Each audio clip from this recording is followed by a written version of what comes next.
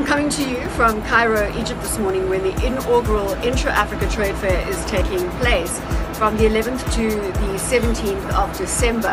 The organizers, African Export-Import Bank, uh, in collaboration with the African Union and uh, hosted by the government of Egypt, are all hoping to bring together buyers and sellers over the week to transact and to exchange information on how to boost trade across Africa. Remembering that intra-Africa trade is sitting somewhere at 15% at the moment and according to African Export-Import Bank this compares really negatively to Europe which sits at 68%, you've got Asia at 58%, North America 47% and then Latin America lagging at 20%. It's great to start seeing the emphasis in Africa on less talk, less protocol and more action. This comes on the back of the inaugural Africa Investment Forum which took place in Gauteng, South Africa in early November.